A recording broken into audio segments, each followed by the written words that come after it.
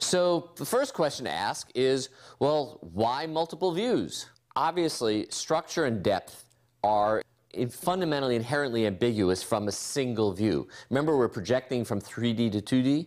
When we do that, we lose information. So here's an example of a man pushing the Leaning Tower of Pisa over to make it lean even further. And either he's very large, the building's very small, or there's an ambiguity when you project from 3D to 2D.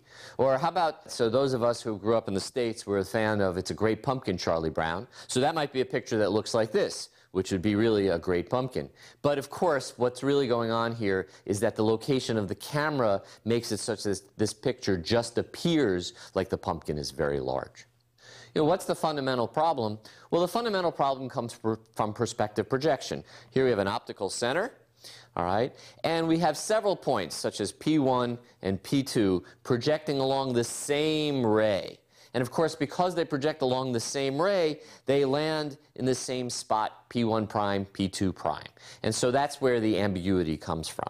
And the question is how to figure out where P1 and P2 really are. And the trick, of course, is going to be to look at a different camera. So here we have a set of particles, and they're just drawn from some density. And probably, if I were to ask you where is the mode, you'd probably say that it's somewhere around here. Okay, and the goal is for the system to find that on its own. So here we have, again, we have our sample. So let's put down a region, okay? It's called a region of interest. Isn't that a beautiful animation? I did not do that. Now, we're not going to talk about the size of that region just yet or its shape. Uh, we'll talk about that a little bit later. It's going to be a Gaussian. But for now, it's just going to be a circle. So we have this region, and we calculate, okay, of all of the points in that circle, where is the mean, that, or the center of mass? And we say, oh, it's not right in the middle. And that difference between them, that's called the mean shift vector. So this is called the mean shift algorithm. Amazing, huh? And so what do you do with the mean shift vector? Well, you shift the mean. And there it goes. Da -da -da Perfect. Okay? What do we do? We do it again. Okay? Here's where we are. Here's the, the weighted mean of the, the new samples. There's our mean shift vector. What do we do? We shift it again. Ta-da! And we do it one more time. There it is. Oh, we're getting close now. Small mean shift vector, shift, and then finally, guess what? We are in the right spot. Here what we have is a uh, Rubik's Cube looking device, although here it's black and white, so it's just a denuded Rubik's Cube. Uh, and it's been placed on a turntable that's been rotating around this way. And if you take a look at these little uh, patterns on the side, you can see uh, what the rotation is. I'm pretty sure this was done by uh, Rick Szeliski because he's looked at these gray codes to do the rotation. Now, what's a little bit hard to see is that over here are these little arrows that are showing you the motion. And of course, the motion is greater in the front of the turntable than say on the cube because it's closer to you and it's rotating a, a, a, further distance. But you'll notice that there are no arrows up here, right, on the white part of the turntable.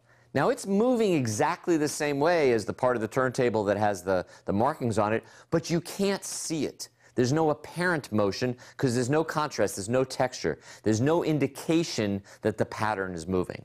So optic flow is recovering the apparent motion uh, of objects uh, or points or surfaces. So Harris corners are based on a approximation model and an error model. And here's how we do. Let's assume that we've got an image I and right here right? And I is the intensity image. And what we're going to do is we're going to say, if I shift that I by a little bit, by a U and a V, and I were to sum up the square over some window, how much error would I get? Okay, that's, that's, that's the game we're going to play. So stepping through that, I is our image intensity, so I of xy is just the original image. The U and the V is some small shift. So if I were to pick up my window and move it over a little bit, I would now get some different image, just shifted by a little bit. I subtract them and square them, and then I I'm going to sum them up over some window. Okay, so the window is going to be some area around some point. So that's written here as uh, w of x, y. The total value here, E, is sort of for error. You really can think of it as sum of the change, we're E for error energy. Um, but the idea is that we're going to sum it up uh, around that window. So here's, uh, if we were doing a homography, here would be our RANSAC loop. Select four uh, feature pairs at random, compute the homography, H, that's the thing that moves it from one to the other.